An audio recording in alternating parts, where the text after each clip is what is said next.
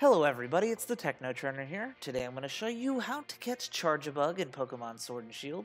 Go ahead and fly on over to East Lake Axewell in the wild area. Uh, it's directly south of Motostoke and you can hop on your bike and go even more south.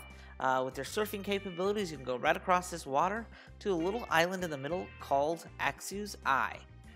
Now, once you come to Axew's Eye, it better be raining, and if it's not, uh, you can check your weather or whatever. You open up your map, and uh, you can see this. You need this little symbol here. It's got the little cloud and the and the and the rain underneath it. You need it to be that symbol specifically. So if it's not that, go ahead and home menu, go to your system settings, all the way down to system, and then to date and time, and you want the date to show August 18th, 2020.